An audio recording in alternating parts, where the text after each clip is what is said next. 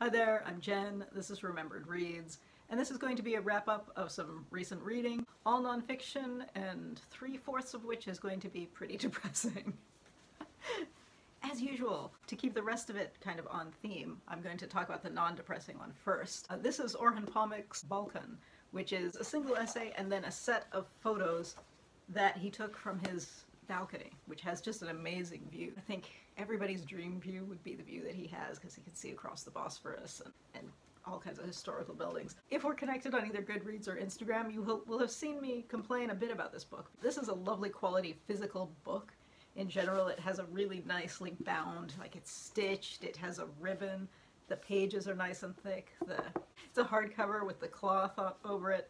However, however, the actual paper, even though it's quite thick, which would be brilliant in a text, in a book that's mostly text, because it's photos, it drains the color quality out of the photos, which in a book that is 95% photos is quite frustrating. So I enjoyed the idea of this, and I really, and it's kind of fun to have the idea of him writing a novel and looking up and taking photos of ships moving around and whatnot uh, in the background. But the paper quality just irritated me to no end because this could have been such a really beautiful work of art, and you just can't.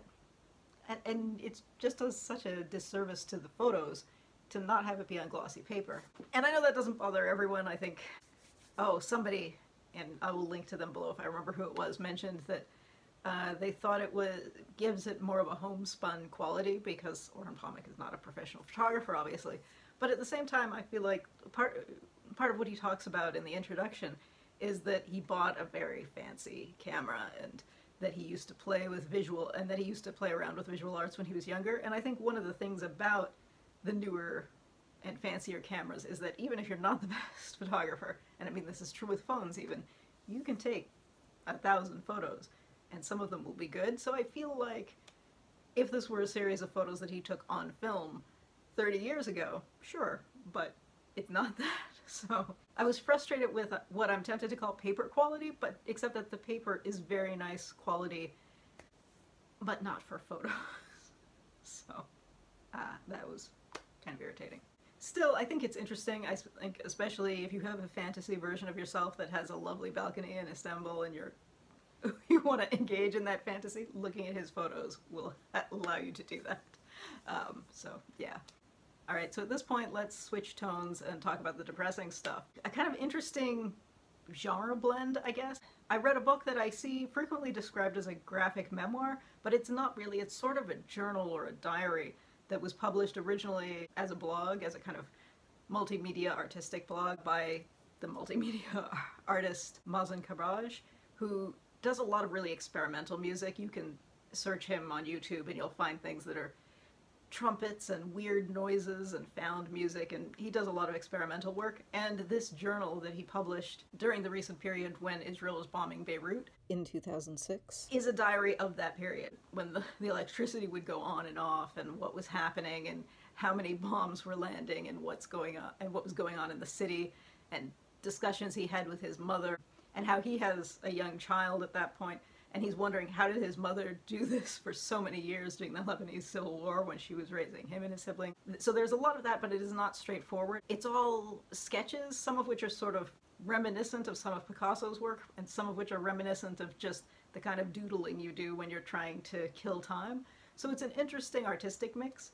It's also a mix of languages. Some of it's in Arabic, some of it's in French, some of it's in English. The, one frustrating bit for me is that in this edition, there is a typed out section on the bottom of pages that translates the French and the Arabic, but they don't have a typed out section of the English, and his handwriting is sometimes hard to read, so I wanted to see a typed out version of the English too. I found that part a little frustrating. But it was very interesting, but I think it is misrepresenting what this is when people call it a graphic memoir because it is really more of a journal. I will hopefully have inserted some photos here so you can see uh, what kind of work it's doing, but it is really interesting. But it is very in line with the kind of experimental work he does across media types. So if you're not a fan of that kind of thing, it may not be exactly what you're looking for, but I do think it's a really interesting journal of that. Next up, next up I reread Joe Sacco's Palestine. This, I had put the what I thought was going to be the deluxe edition on hold at the library, uh, and this turns out to just be a reprint of the original. So I did reread this because my copy of this has been in storage for a while, but it was not the extended version that I thought it was going to be. When I did the video about comics journalism, I mentioned that I was going to be reading the deluxe edition, and I did not. This I have given five stars before. and as with all of Joe Sacco's work, it is a very unflinching portrait of both the suffering of a people, but also in a way that allows everyone to be as ugly as people are. Because just because you're sharing important information doesn't make you a nicer person. He does a lot of does and says things that are ugly, and he's very open about that. He also doesn't make the people who are victims out to be more angelic than they are, and that's always something that I always appreciate about his work. This is was his first big work. This came out in the early 90s. So he wrote this before Footnotes in Gaza, before uh, his books about the former Yugoslavia, before his book about Canada. And I think you can see how his work has become more and more polished over time. So it's interesting to go back and read this again. And as with all of his books, I think if this is a region or a period in history that you are not familiar with, I think there's absolute value in this because he does share information in a way that I think is both digestible and powerful. Yeah, rereading it, I still felt like it was as good as I thought it was the first time around, which I think is all you can ask for with something like that. And finally, I read a book that is not exactly a memoir and not exactly poetry, and this is Mahmoud Darwish's In the Presence of Absence.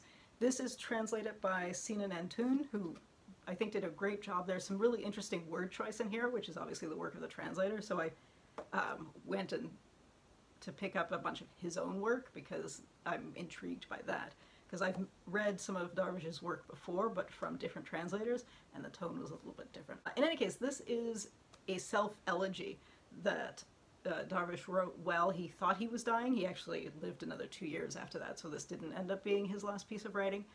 But with that in mind, he sort of travels through his life in a very, and essentially produces a kind of poetic monologue about things like childhood and beekeeping, about longing both for love and the longing that's associated with exile for the homeland because he was born in 1941 so uh, and was Palestinian so he became a refugee when he was seven. He lived all over Egypt, Russia, Lebanon, everywhere and so he kind of carries you along with, along this journey of his life and reflects back on it with a really interesting mixture of not exactly nostalgia but a kind of nostalgic emotion more than flat out nostalgia. I think there are some bits and pieces maybe about uh, the love and longing that deal with some gender bits that um, I don't think everybody's gonna love, but I think it is just a really brilliant piece of work. And I don't know, maybe this is a maybe this is just a limitation in the things that I've read, but I feel like I associate self-elegies with something that people wrote a hundred years ago or more, and it's interesting to see somebody writing that something like that more recently. Because I mentioned longing, I, I just, it's hard to talk about this, so I'm going to read one of the short paragraphs in here just so you can get an idea of the feel of it. And this is one of the sections about longing, but uh, anyway, here we go. Longing has a favorite season, winter. It is born of the first drops of water on dry grass and heaves deep sighs of feminine hues, craving moisture. Rain is the promise of a universal wedding. Rain is a promise that what is sealed will open into an essence that the infinite will reincarnate itself in nature. Many an oak tree cranes towards two, you and she, running in the rain without an umbrella or a hat, happy with an honorable scandal, happy to be half clad. You run, not knowing where, liberated from path and destination, etc. So that is the style in which that is written, and I think if you are a fan of poetry, you will definitely enjoy that. I think it may not be quite straightforward enough for someone who's looking for uh, a memoir that is meant to be more educational, because I think some people approach memoirs as tell me a story about your life. And this is not tell me a story about your life, this is more tell me about the emotions of your life. So I thoroughly enjoyed that. One of the best things that I read this year, probably. So yeah, if you like that kind of thing, definitely pick that up. In any case, that's what I'm currently reading. If you've read any of these, I'd love to hear what you thought. And uh, yeah, that's it for now. Ciao.